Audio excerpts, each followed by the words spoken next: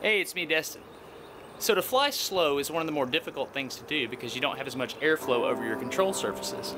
To fly at zero air velocity is the hardest thing to do of all. Over the past weekend, I've been making observations of hummingbird flight in my backyard. So let's look at my observations, then we'll come back and we'll look at the science of how hummingbirds fly. You're getting smarter every day.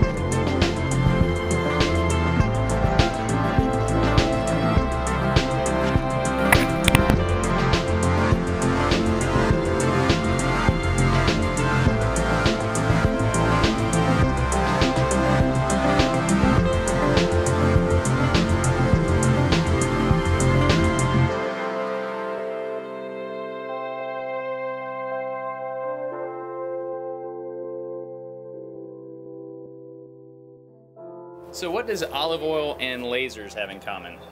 Hummingbirds, obviously. Dr. Doug Warrick at Oregon State University and Dr. Bret Tobalske at University of Montana have been studying hummingbirds by using a nozzle to spray olive oil in the air around a hummingbird. And then they'll take a laser and then they'll slice sections of the air where the olive oil is to measure the flow field. Basically it's called digital particle image velocimetry. What you do is you get a picture of an oil droplet you wait some finite amount of time later and then you get another picture of an oil droplet.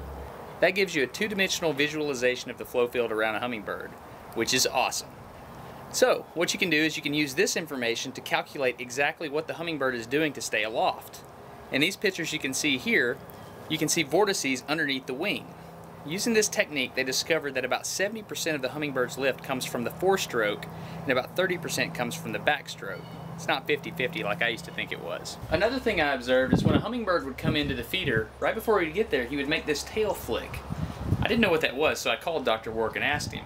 Right now, Dr. Warrick and his team of biomechanists don't really know what this tail flick means. They're not sure if he's changing the airflow around his body, or if he's changing his center of gravity under his wings so that he can make a maneuver that way. What they are doing, however, is making a 6 degree of freedom model so that they can study this further.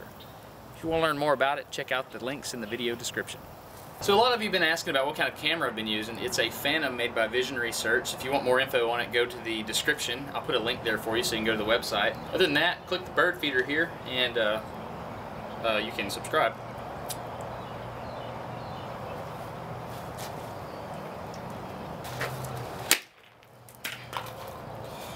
Um, just subscribe by clicking the link below and uh, I hope you're getting smarter every day. If you're not, that is, that's some good stuff. Oh.